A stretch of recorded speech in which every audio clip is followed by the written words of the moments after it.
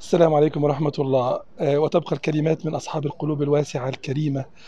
آه، هي شعار لعبور القلوب عبر القارات.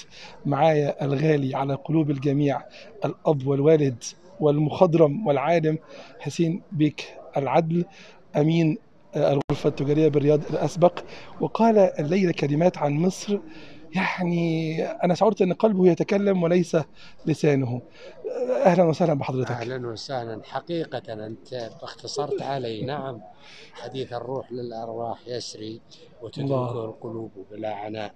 الله. آه، أنا من جيل جيل ال- ال- اللي تعلمنا ال- الدراسة الابتدائية بالخمسينات نعم. ميلادي. والدراسة الثانوية طبعا بأوائل الستينات آه، ميلادي. نعم.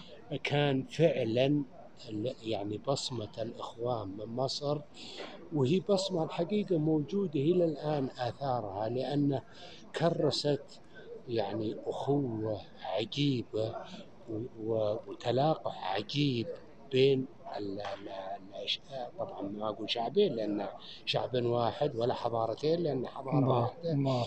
لكن شعرنا فعلا أنهم يدركون من حنا وندرك من هم. الله. وكان الحقيقة الله. الفضل بعد الله الحكومات مصر في ذلك الوقت أيضا كان لها يد طولة بموضوع نشر التعليم. وإذا كان هناك شيء تعتز به مصر تعتز بالكثير طبعا تعتز, بالكثير من الناحية ال- ال- ال- التاريخية ومن ناحية الأداء.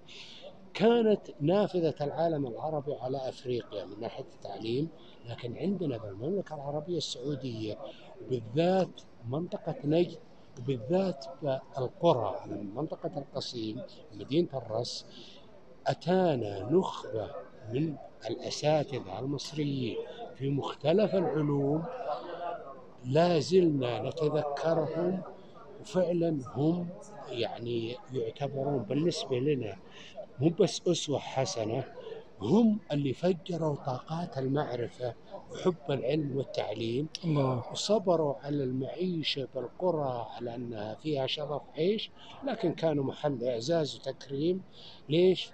لأنه المجتمع بالسعودية في ذلك الوقت والآن ال- المعلم يحتل مرتبة اللي تحدث عنها شوقي وفيت الله. تبجيلك هذا المعلم أن يكون رسولا. نعم.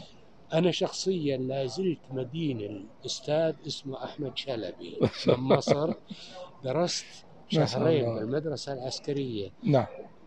أولى متوسط وخرجت بعد يعني انتهيت من العسكرية وخرجت والتحقت بالمتوسطة الغير عسكرية طبعا وأتى وأقنع المدير وقال هذا عنده قدرة أنه يبدأ بالسنة الثانية متوسط بدل الأولى والحمد لله ما خيبت أمله ما شاء لكن لا. زلت أذكر أنه تخطى الأنظمة في سبيل أنه ما يحصر طفل من ممار أو أو من الاستمتاع بما منح الله من طموح ومن قدرات نعم الحقيقة نعم. فلهم مكانة وهذا ترى مو برأيي أنا آلاف ما شاء الله عليك. السعوديين من اللي الله سبحانه وتعالى أعطاهم قسط من التعليم وتسنموا مراكز لا زالوا يحتفظون مصر في داخل قلوبهم هل ال- ال- الأمور الجميلة جدا. جزاك الله خير أكرمتنا وشكرا يا فندم شكرا جزيلا.